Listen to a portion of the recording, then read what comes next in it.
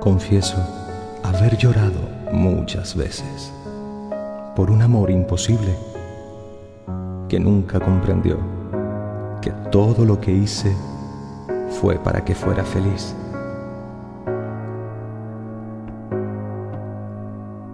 En mi loco afán de amarla, mi mente se confundió toda. Sus ojos eran mi encanto, sus labios eran mi pasión. Cada noche era una ilusión perdida.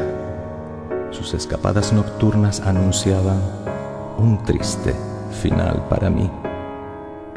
Sin embargo, en mi delirio existía una remota esperanza de que mi hembra olvidara sus placeres a escondidas.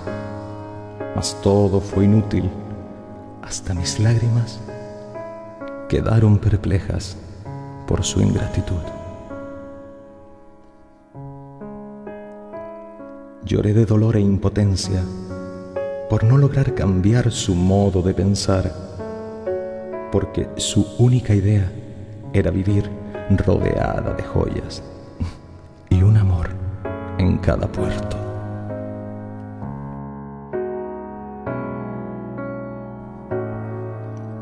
Meses después, mi madre se me acercó y me dijo, Hijo, hoy es la boda del gran amor de tu vida espero que ahora olvides para siempre a ese falso querer.